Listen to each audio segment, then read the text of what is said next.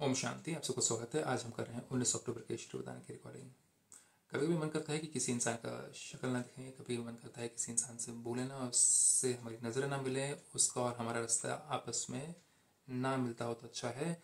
वो जिस रास्ते से जाए, हम उस रास्ते से ना जाएँ। ये सारी बातें हम सीखते हैं ब्रह्म कुमारी इसमें। तो आज परमात्मा कहते हैं, ज्ञान स्वरूप बन। कर्म फिलॉसफी को पहचान कर चलने वाले कर्म बंधन मुक्त भवा। ज्ञान स्वरूप बन कर्म फिलॉसफी को पहचान कर चलने वाले कर्म बंधन मुक्त भवा। कई बच्चे जोश में आकर सब कुछ छोड़ किनारा कर तन से अलग हो जाते हैं। किसी से आपकी बनी नहीं, आप उससे दूर हो गए, आप दूर चले गए। आपको उससे बात करने का मन नहीं है, नज़रें मिलाने का मन नहीं है, वो जिस रास्ते से आते हैं, आपको उस रास्ते से जाने का मन नहीं है। ऑफ़िस में भी आप हैं तो वो अगर इस रास्ते से आ रहा है तो आप चेंज करके उस रास्ते से चले जाओगे।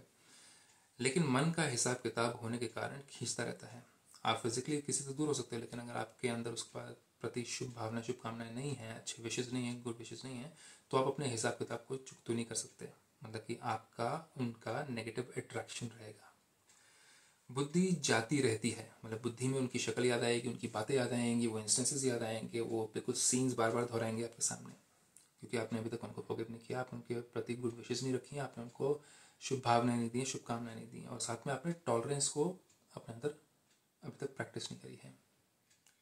ये भी एक बड़ा विघन बन जाता है, क्योंकि किसी के संस्कार जो है, उसको आप चेंज नहीं कर सकते, आप उसको शुभ भावना शुभकामना दे सकते हैं, उसकी आदत है वैसा करना, और हमारी आदत है कैसा करना, वो हम जानते हैं।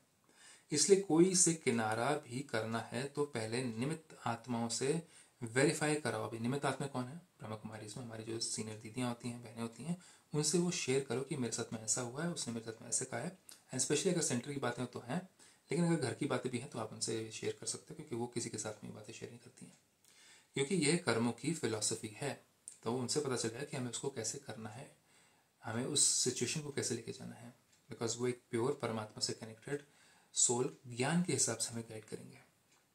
वो हमें लौकिकता के हिसाब से अच्छा तुम्हारे फ्रेंड ने ऐसा किया, छोड़ दो, क्या करना तुम इसके साथ में बहुत मिल जाएँगे। वो ऐसी बातें नहीं।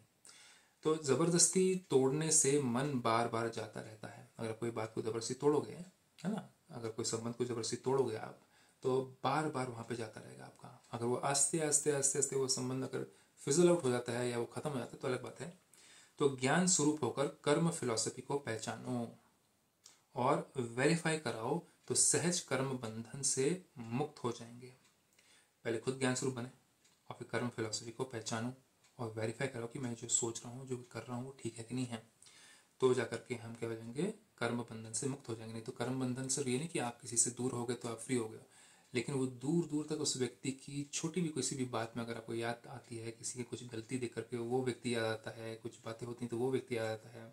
सीरियल कुछ देख रहे हैं टीवी पर, अगर वो व्यक्ति की याद आ गई रिश्तेदार की याद आ गई तो ये सब चीज़ें जो हो रही हैं आपके मन में हो रही हैं, इसका मतलब आपने अभी तक लगाव मुक्त नहीं हुए हो।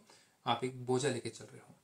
तो ब्रह्म कुमारी में जा करके आप ये भी काउंसलिंग ले सकते हैं, जो कि फ्री में दी जाती है आपको, किसी भी देश में, किसी भी टाइम पर। ओम शांति के साथ।